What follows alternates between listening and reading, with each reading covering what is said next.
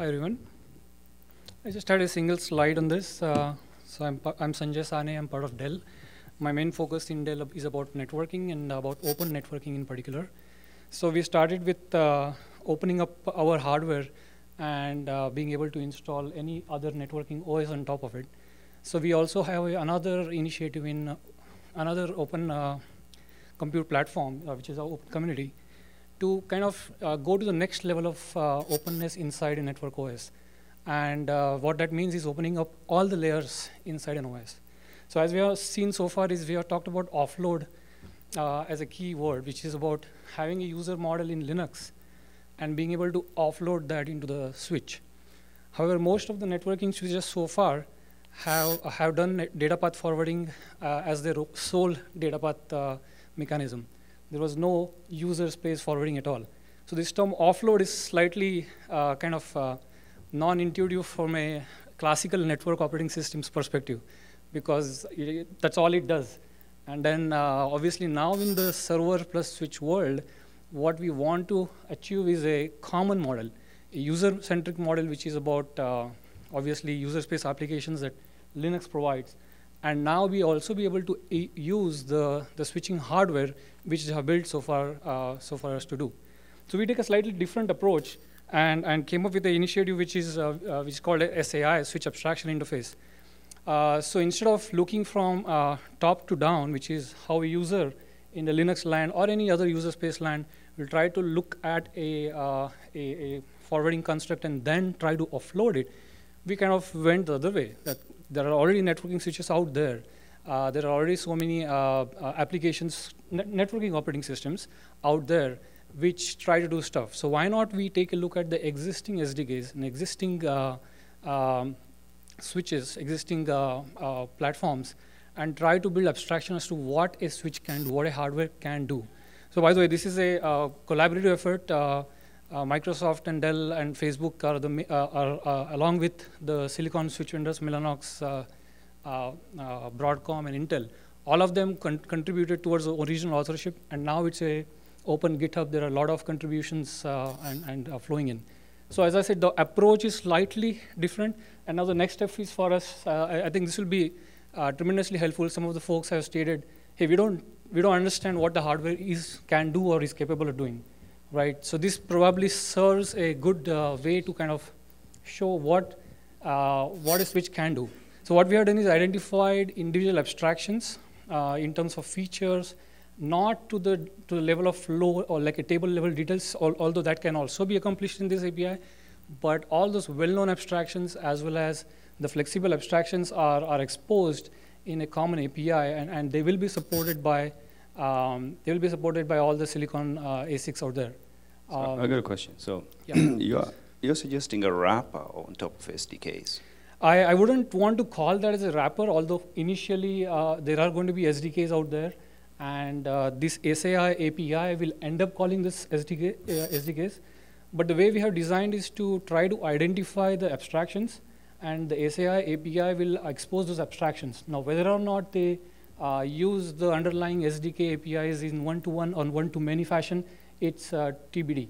So its uh, wrapper would be a very loosely uh, kind of because yeah, the, but, the but you're depending on wrappers. I, do you have an API for Linux on top of this? Uh, I don't. So that's what. The, so, so, when I talk to you about this, this is like a, I, I'm here to kind of learn and understand what's out there, but also to kind of expose how we came about in kind of designing an API, which may be useful to this community. So that's this is the first step. But you'll be open so, to deal so with Linux. Do you want the good news or the bad news? Uh, give me both. Yeah. Okay.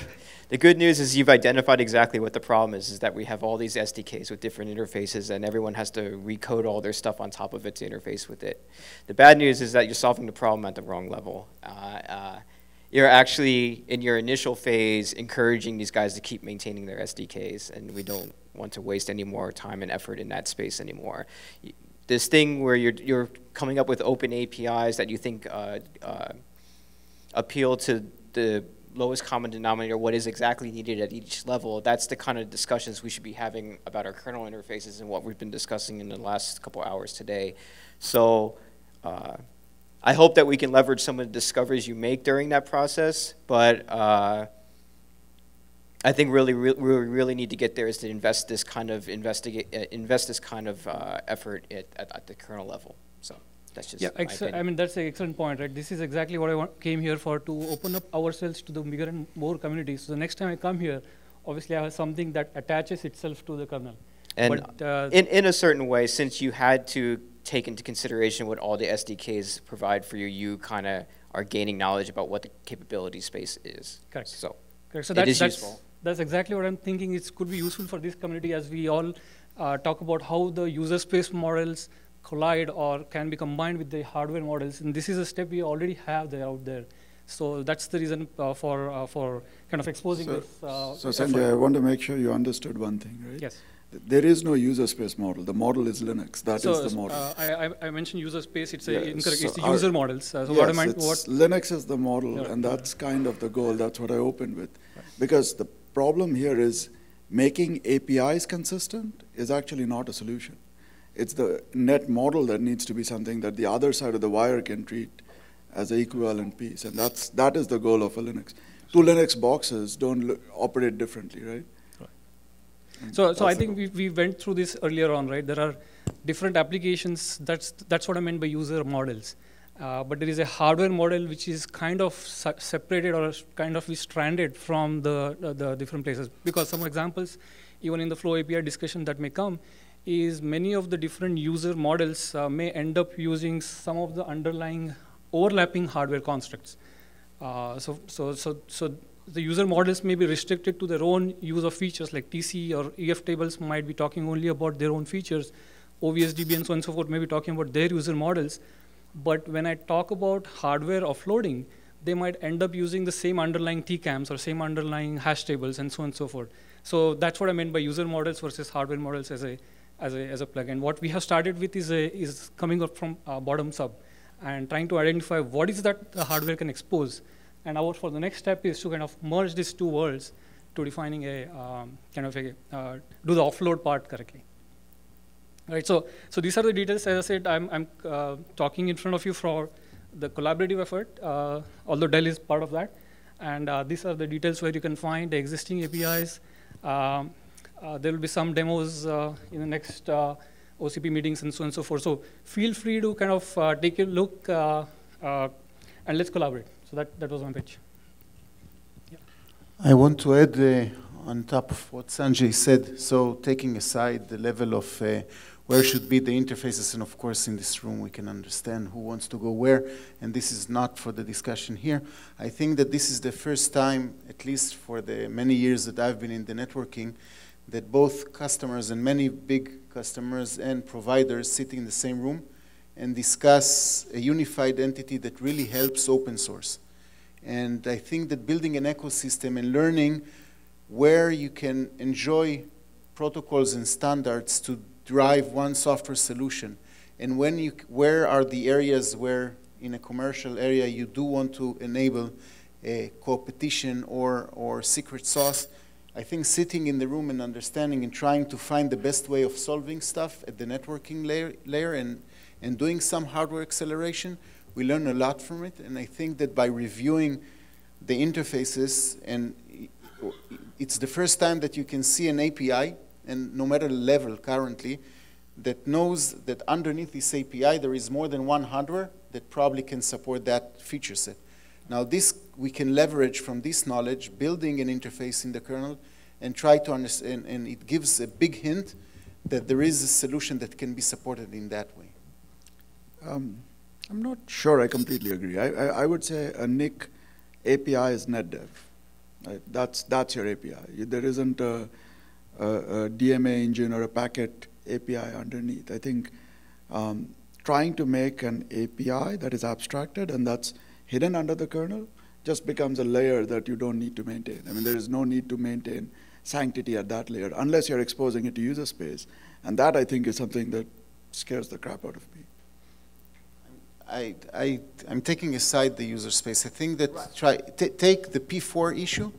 Now, the P4 tries to model something that is not is based on ideas, right?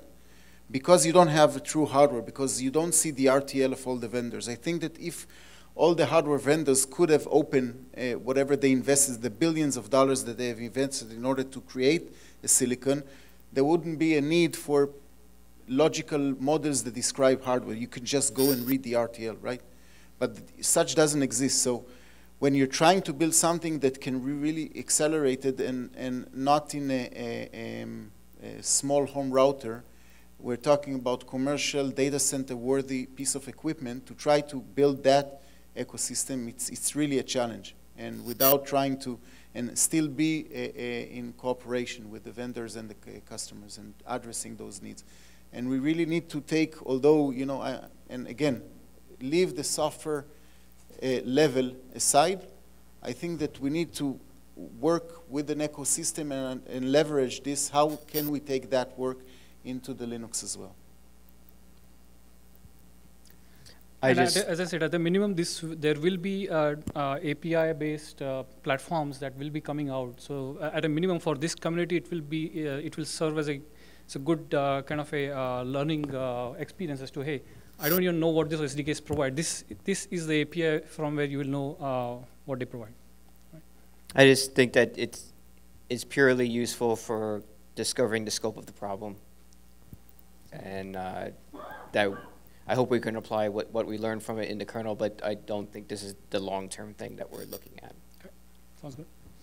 Any other questions? Thanks.